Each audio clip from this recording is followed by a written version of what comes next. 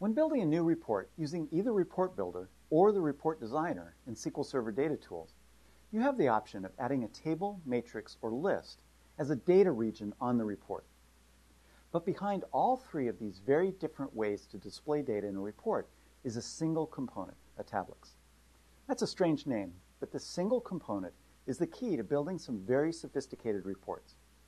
Once you understand the concepts behind the tablix and the tools available to build a report with it, you'll be able to handle just about any kind of complex report requirement, no matter how wacky. I'll start by taking a look at the tablix and how it's able to morph into a table, matrix, and list at your whim.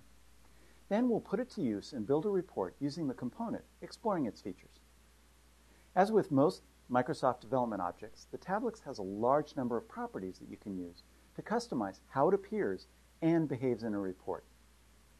We'll wrap up the course by exploring the properties unique to the tablix so that you'll know exactly where to go to make it do what you need.